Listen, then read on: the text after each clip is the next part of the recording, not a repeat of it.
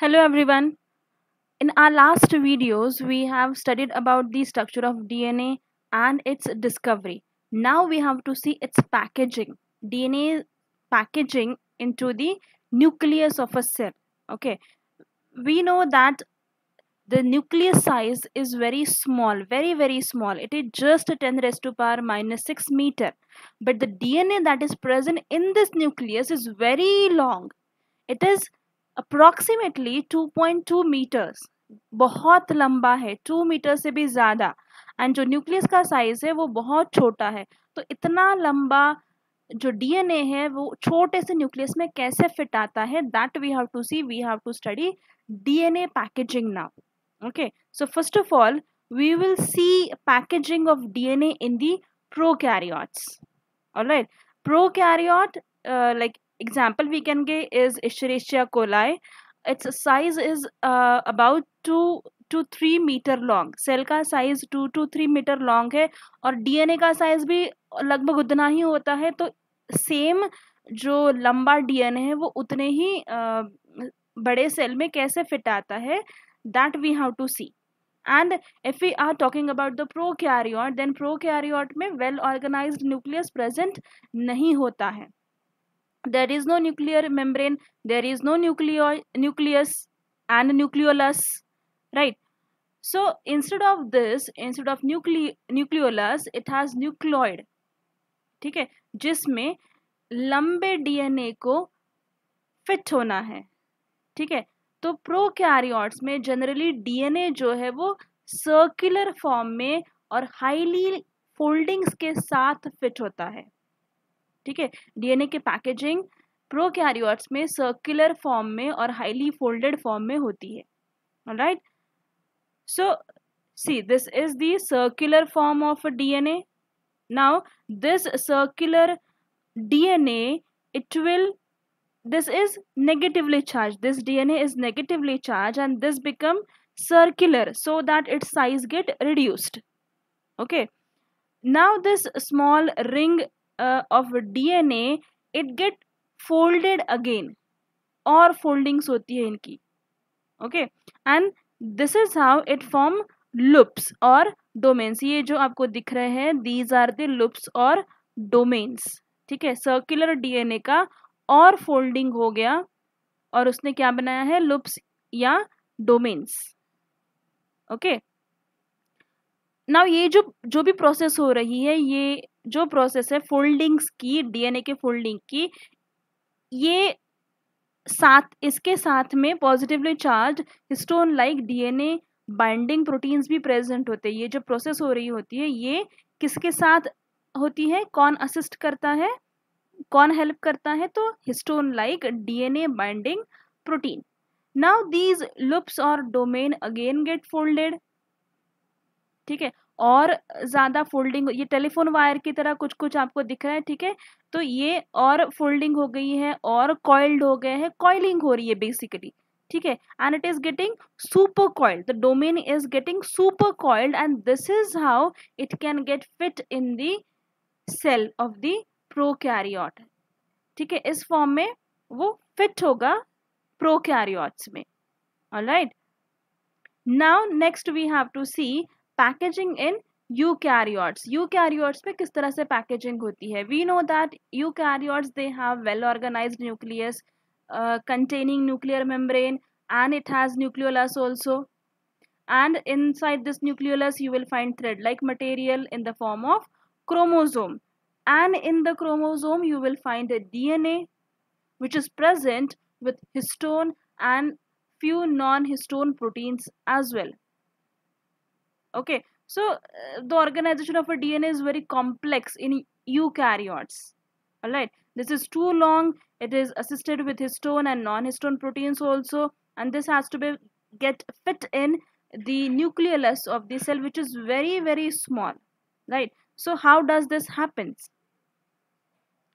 so here you will find that dna is a double stranded helical structure. We know that we have studied earlier also that DNA is a double stranded helical structure and this is acidic in nature okay DNA is acidic in nature so to get fit in the nucleus this dna should be wrapped around something which is basic in nature ठीक है अगर DNA को acidic DNA को nucleus में fit होना है then उसका किसी और चीज़ पर उसे रैप होना होगा ओके okay? जो बेसिक होगा नेचर में ऑलराइट सो so, इस वक्त डीएनए का हेल्प कौन करता है? हिस्टोन प्रोटीन्स ठीक है? Histone protein histone proteins are basic in nature ठीक है? सो जो क्रोमो सॉरी डीएनए जो है वो इन हिस्टोन प्रोटीन के ऊपर रैप होता है alright? Because these are basic in nature.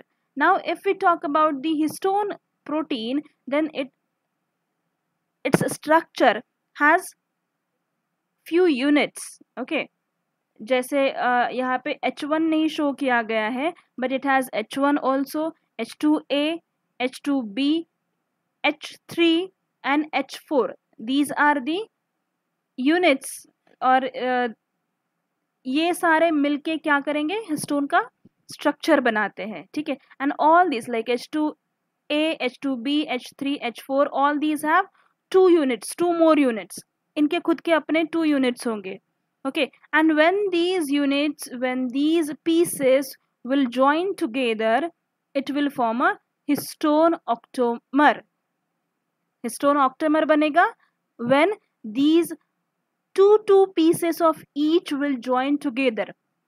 2 plus 2 plus two plus two will make eight so octamer आठ पीसेस से बना हुआ हिस्टोन ऑक्टेमर बना।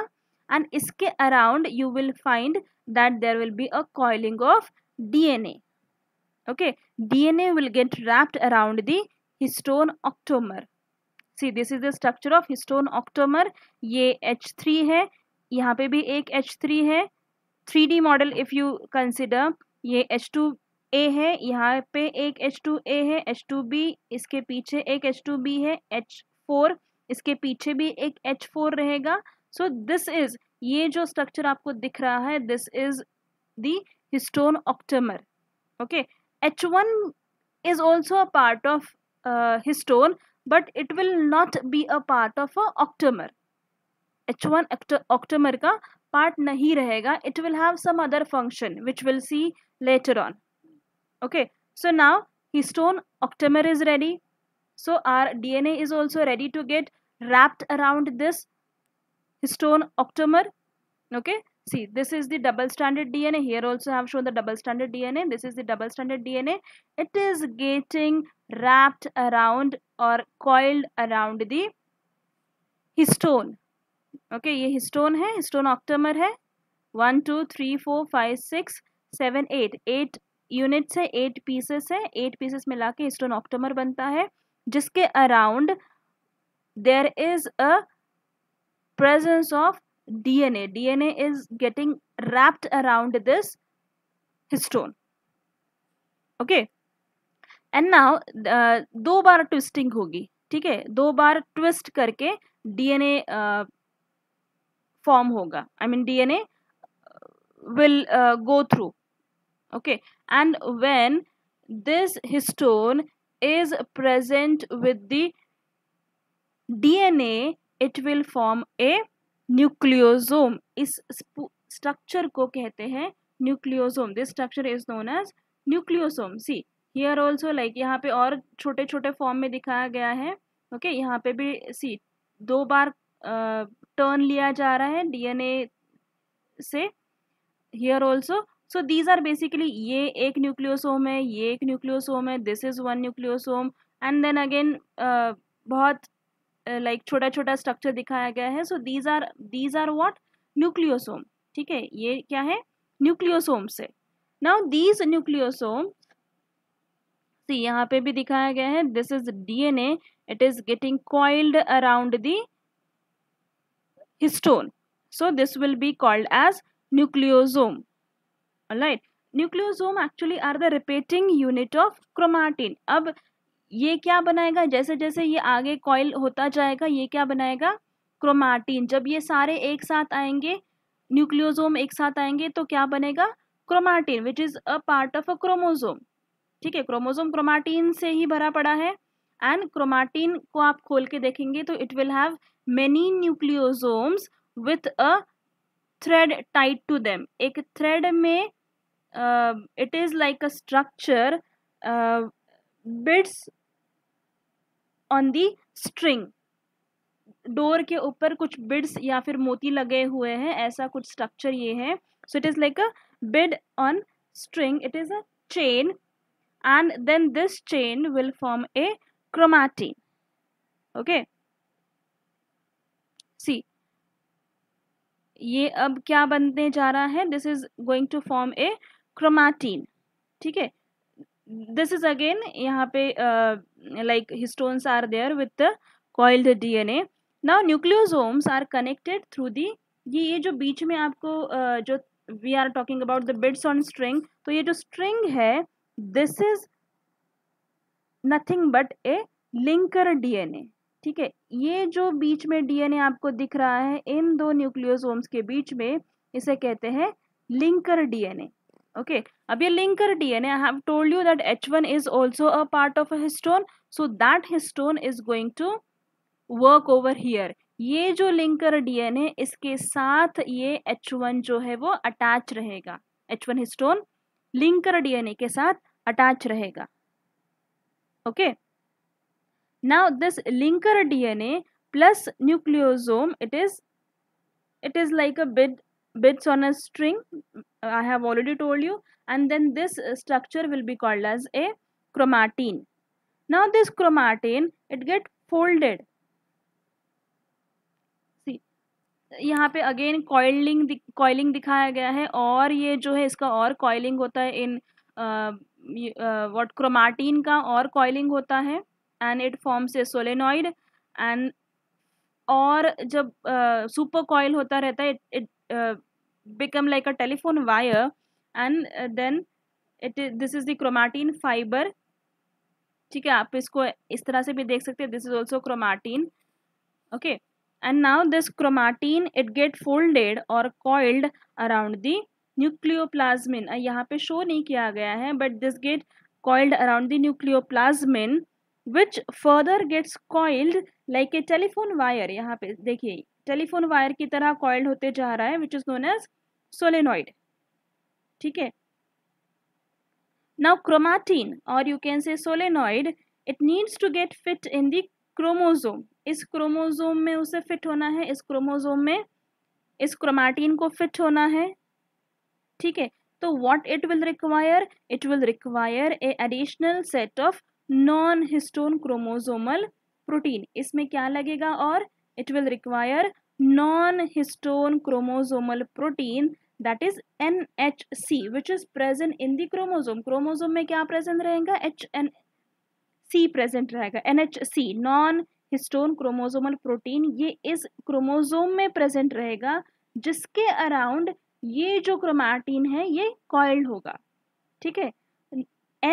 सी के अराउंड क्रोमाटीन जो है, वो कॉइल होगा। So this chromatin it will wrapped around the N H C and then this is how the DNA gets packaged into the chromosome ठीक है, इस तरह से डीएनए फिट होगा क्रोमोजोम में and chromosomes are present in the nucleus right see यहाँ पे भी सेम थिंग दिखाई गई है. This is the DNA then DNA is getting wrapped around the histone histone protein so it will look like a beads on a string यहाँ पे भी देखिए this is also like a beads on a string okay then it will form बहुत ज़्यादा coiling होगी इनकी and it will form a solenoid यहाँ पे देखिए this is the kind of a solenoid ठीक है? ये न्यूक्लियोजोम से DNA with histone protein it will form a nucleosome it will look like a beads on a string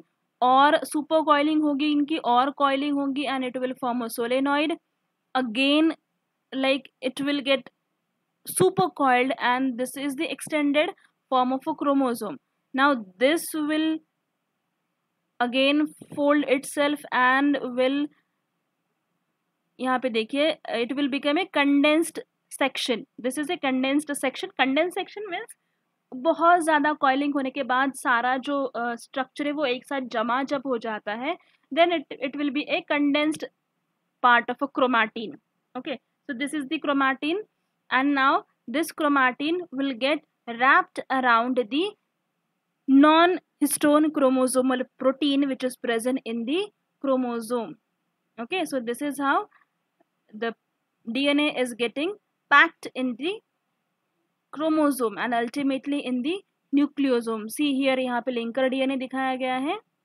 Okay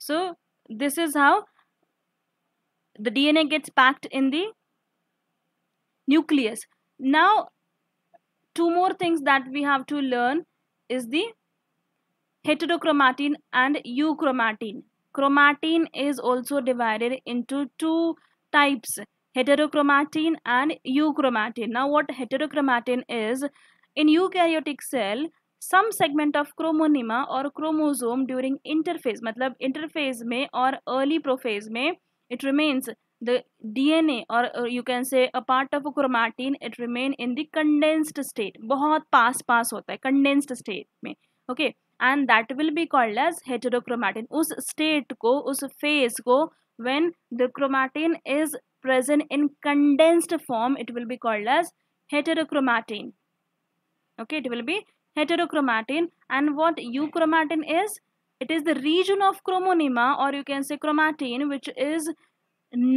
which is in non condensed state जो पास पास नहीं बहुत पास नहीं थोड़ा सा दूर है एक दूसरे से okay it will be a euchromatin okay euchromatin region stain light when you are staining DNA at that time euchromatin का जो पार्ट होगा, कैसे पहचानोगे? जो जहाँ पे स्टेन बहुत लाइट आपको दिखेगा माइक्रोस्कोप में that part will be the euchromatin जो हाईली स्टेन्ड होगा, जहाँ पे ज़्यादा स्टेन दिखेगा डार्क होगा that will be heterochromatin okay see this is euchromatin बहुत पास पास नहीं है. दिस इज़ हेटेरोक्रोमैटिन जहाँ पे बहुत कंडेंस्ड स्टेट में है। ओके okay, यहाँ पे भी देखिए euchromatin and this is heterochromatin बहुत कंडेंस्ड है यहाँ पे नॉन कंडेंस्ड स्टेट में है। Alright so this was all about the packaging of DNA in prokaryote and eukaryote